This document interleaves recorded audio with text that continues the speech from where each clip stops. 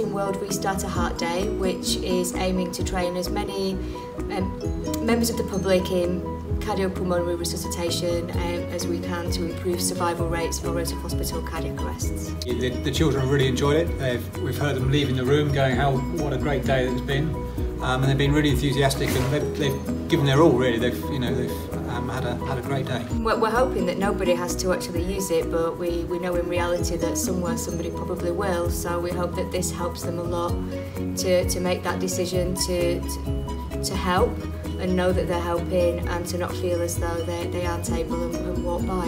So thank you for everybody that baked for us or donated. The cakes are going down great and we're doing a wonderful job of fundraising. So yes, thank you very much.